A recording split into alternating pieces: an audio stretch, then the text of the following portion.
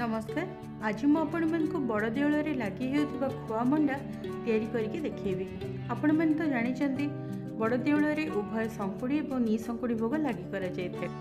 ଶଙ୍କୁଡ଼ିରେ ତ ବିଭିନ୍ନ ପ୍ରକାର ଅନ୍ନ ଡାଲି ଡାଲମା ସାକର ବେସର ଏସବୁ ରୁହେ ଏବଂ ବିଭିନ୍ନ ପ୍ରକାରର ପିଠାପଣା ସବୁ ଶୁଖିଲା ଭୋଗ ବା ନିଶଙ୍କୁଡ଼ି ଭୋଗରେ ଥାଏ। ଆଜି ସେଇ ଭିତରୁ ମୁଁ ଆପଣମାନଙ୍କୁ ଖୁଆ ମଣ୍ଡା ତିଆରି କରିକି ଦେଖେଇବି। କାଳିଆ କୃପାରୁ ଏଇ ବର୍ଷ ରଥରେ ଲାଗି ହେଉଥିବା ଖୁଆ ମଣ୍ଡା ମଧ୍ୟ ପାଇବାର ସୌଭାଗ୍ୟ ମୋତେ ମିଳିଥିଲା। ଏଇ ଦେଖନ୍ତୁ ଏଇଟା ସେଇ ଖୁଆ ମଣ୍ଡା ବଡ଼ ଦେଉଳରେ ଖୁଆ ବ୍ୟବହାର କରି ବିଭିନ୍ନ ପ୍ରକାର ଜିନିଷ ସବୁ ତିଆରି କରାଯାଏ। ସେଥିମଧ୍ୟରୁ ଖୁଆ ମଣ୍ଡା ଗୋଟିଏ।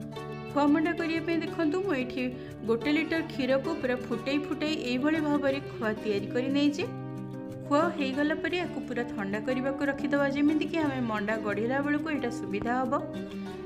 ଏଇ ଦେଖନ୍ତୁ ମୁଁ ଖୁଆ ପୁରା ଥଣ୍ଡା ହେଇଗଲା ପରେ ପାଖାପାଖି ଗୋଟେ କପ୍ ହେବ ଖୁଆକୁ ନେଇଛି। ଏବେ ଏଥିରେ ଗୋଟେ ବଡ଼ ଚାମଚ ଖଣ୍ଡ ନହେଲେ ନବାତକୁ ଦେଇଦେବା। ଯଦି ଆପଣ ସେଇଟା ନ ପାଉଛନ୍ତି ଘରେ ଚିନିକୁ ଗୁଣ୍ଡ କରିକି ମଧ୍ୟ ଦେଇଦେବେ। ତା ସହିତ ଗୋଟେ ଛୋଟ ଚାମଚ ଗୁଆ ଘିଅକୁ ଦେଇଦେବା। ନେଇଥିବା ସବୁ ଜିନିଷକୁ ପୁରା ଭଲ ଭାବରେ ମିଶାଇ ଦେବା ଏଥିରେ ଆଉ କିଛି ଜିନିଷର ବ୍ୟବହାର କରାଯାଏନି।